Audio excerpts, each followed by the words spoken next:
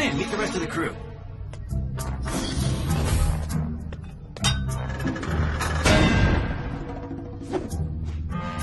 I'm sure most of you remember the sensational She-Hulk. Uh, girl Hulk? Come on, Hulk. I'm your cousin, remember? I've known you since we were kids.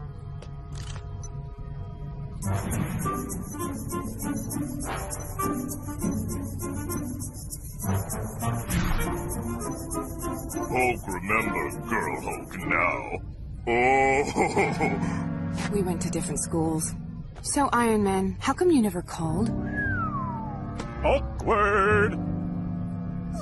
Oh, yeah, I I washed my armor and your number was in the pocket. Let's go, squaddies! We've got to get to Nova Corps space.